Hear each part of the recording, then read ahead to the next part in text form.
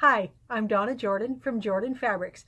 I've been working on a fun new pattern that I've designed and it has cats and we're calling it Kaffe cats. So come on over to the workroom and I'm going to show you how to cut it and sew it and quilt it.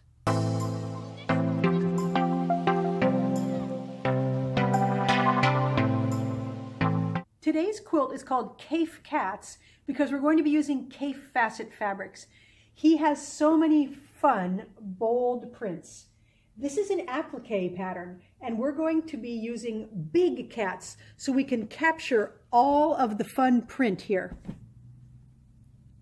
Nice, bold prints, and these really need kind of a bold background. So we've got all these bright colors, six here, six more here, and for the backgrounds, we're going to be using these bright grunge fabrics. These make a really good background for the Fassett fabrics. They're bold and they are just nice and colorful. So today's cat, this is the size we're going to do. It's a nice big cat. So you can print off the download. We'll have the pattern available for you to print off and transfer it onto something. I use a file folder because I always have a file folder handy.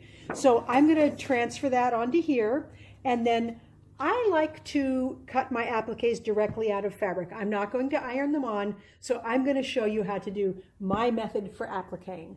My first step is to get the fabric for the cats a little bit bigger than I'm going to have the applique cut and make sure you steam press it really, really flat. You want this completely, completely flat. Then decide, do I want all my cats facing right, facing left, and you're going to draw on the back side. So remember, if you want your cats facing this way, you're going to want to turn that over and have your pattern facing that way. I'm going to put mine all facing this way. So I'm going to put this on here and I'm going to use my marking pen and of course my good glasses and I'm going to draw around the pattern. Now there's different ways of getting this on here. I like to draw right on the fabric and of course this um, the friction pen here will come off as soon as we iron it. So I'm going to draw all the way around and then I'm going to use a really sharp pair of Kai scissors and I'm going to cut along the line. I'm going to cut four layers at a time. You can cut as many layers as you are comfortable with. Now every cat needs to have a little heart. We're going to put that right down here. So I'm going to cut hearts out of every fabric. With an applique this large, when you're cutting multiple layers, you probably want to put a few pins in just to hold it in place while you cut.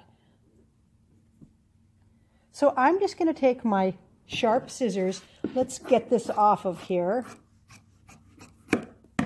And I like to do it in one continuous movement. So I'm going to go right along the lines and just keep curving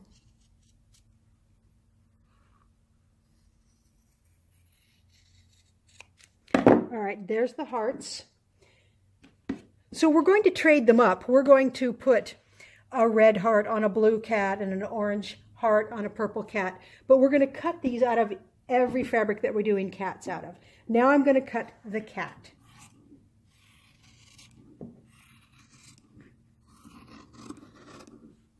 So just go all the way around. Sometimes you have to stop and start cutting from the other direction. That does make it easier once in a while.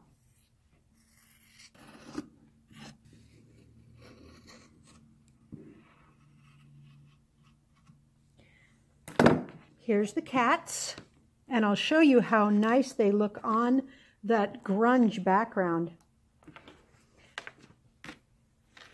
So we don't want to put an orange cat on the orange because it just doesn't show up very well, but look at how pretty the yellow one looks. Really yummy. Then we'll put this bright orange cat onto some purple. So you just pick a nice bright background and alternate the cats. And I'll get the rest of the hearts cut out so that we can get a little bit more contrast there. But look at how fun that is. I have most of my cats cut out and laid out on the backgrounds. They're really bright and fun, and I've used a contrasting heart on the cats.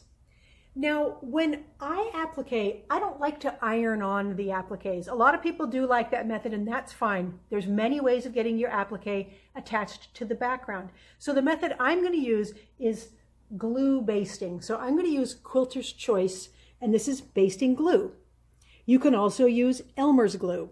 Both of the products, Elmer's or this, they're water soluble. They won't stay in your quilt. They wash out simply with water. You don't even need soap. But this is a good way to get it temporarily attached to the background while you applique. So this has a small hole in the top and sometimes you have to make sure that the hole is not filled with the glue. You can also rinse out the cap if you want. And so I'm simply going to put a very small amount of this right near the edge. Now the glue is clear, so I don't know if you can even see it, but I'm just going really close to the edge. And you don't have to glue it all the way around the cat, but I recommend doing it in the ears and anywhere that's really curvy. So this is just going to glue it down. And I'm doing it so close to the edge that I'm not sure my needle will even go through the glue. But this kind of basting glue will not gum up your needle. It won't make your machine go icky or anything like that. So I'm just going to put a very narrow strip of it right near the edge. So I'm kind of dotting it. It doesn't have to be a solid line. And I'm going to go not all the way around, but especially around the curves around the ears and around the tail. So you can experiment and see how much glue you like to use. So I'm going to press this down and I'm going to be sure to iron it with a dry iron before I start sewing and that will make sure that the glue is all the way dry. So I'm going to take these pins out, put this glue around here, and this makes it really easy to applique but it doesn't add any stiffness the way some of the iron-on um, applications can. I've got all of my cats glued onto the background. Here's a nice bright one, really fun. Now before we uh, stitch around the edge, we need some sort of stabilizer underneath here. There's products, here's a Pellon product, it's called Stitch and Tear, and it's just meant to put underneath your applique so that your stitch will stay nice and stable and it won't crumple up. There's also water-soluble products. So I got two different ones here. So these you can put underneath your applique. They don't seem to be quite as stiff, but they work really well. And these will completely uh, dissipate and disappear when you get them wet. So there's some different thicknesses of this product here. I have always just used paper under my appliques. I always have paper around. I don't always have those products around. So we have a lot of newsprint here. It's fairly thin, but it works really well and it tears away easily. So I've just cut up some of this newsprint here and that's what I'm going to use for my stabilizer. To do the applique work, I'm going to be working on this little Singer patchwork sewing machine.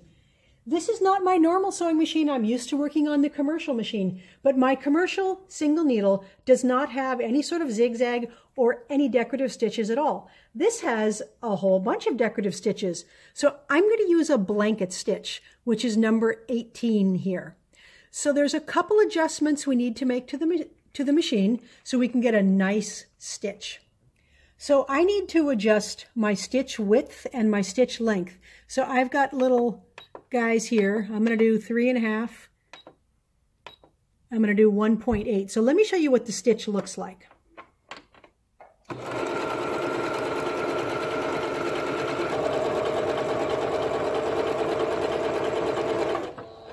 So let me show you what the stitch looks like here. We've got stitches going over and then we've got it stitching right along the outside edge of our cut edge here. And that's how you want to stitch it. You want this long stitch right on the outside here. So this is the width I'm going to use and it's pretty tight because we did not fuse our fabric on. We just barely glued it around the edges. Thanks for watching part one of our tutorial on how to make the Kaffe Cats quilt. Now be sure to check back for part two so we can all finish up our quilts.